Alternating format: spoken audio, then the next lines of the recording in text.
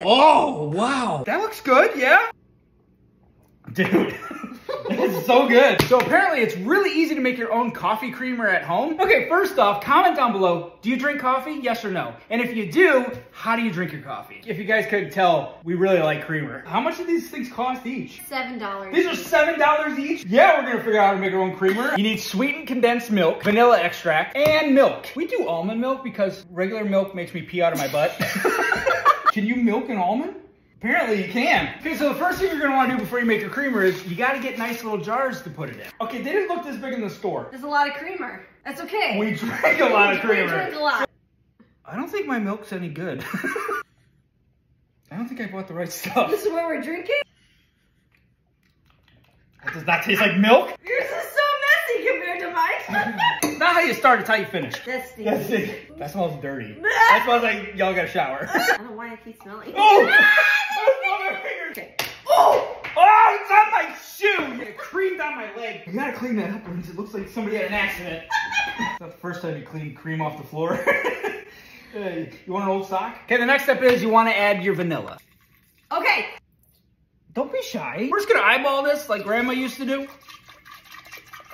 Is that a lot? I feel like this is like an eighth grade science project. People knock on the door, they're gonna think we're making drugs. What are you guys making? Hooch. okay, now that you got everything in there, you just gotta shake it up. I'm gonna do mine a little different. I'm gonna add some caramel. We're fancy up in here. Oh, Oh, look shoot. you. Is that a lot? That's Krista, that's a lot. That's good. Okay, make sure your lid's on and Yeah. give it a shake. You gotta make sure you shake it out real good, like this. Wait, wait. Yeah, there we go. Right, Whoop, right. whoop. And you'll be drinking good coffee in no time. In no time. Okay, before you say anything about us being bougie, we drink a lot of coffee. So we had to get one of these things. How cool is this? So you just set it, And forget it. boom. Freshly ground coffee. Just one sec. It takes a second.